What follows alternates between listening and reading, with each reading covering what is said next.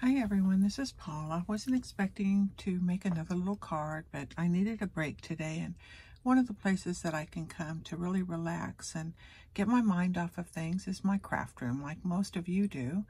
Larry is doing a lot better today. They don't expect him to be home though for a while. They're still trying to get uh, some of his blood work a little bit lower than what it is, but he's doing really well.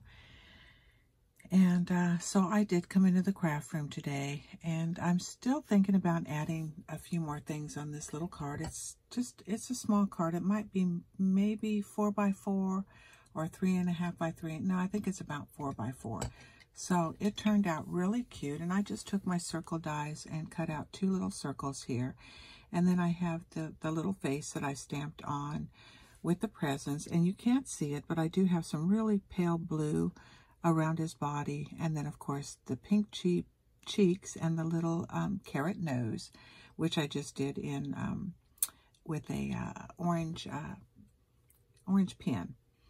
And then I think what I'm going to do is go back with some stickles or some white dots. I have some white uh, gel pens, and I may go around the edge of the card to kind of break up the red a little bit.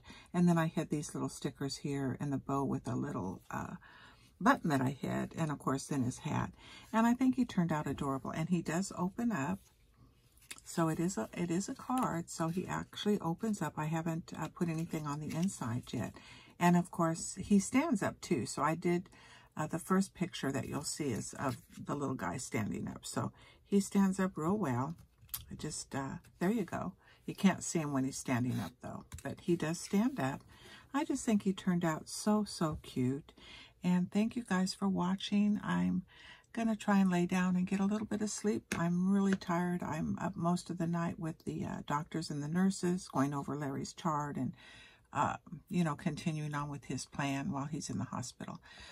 You guys take care. Love you all. Bye-bye.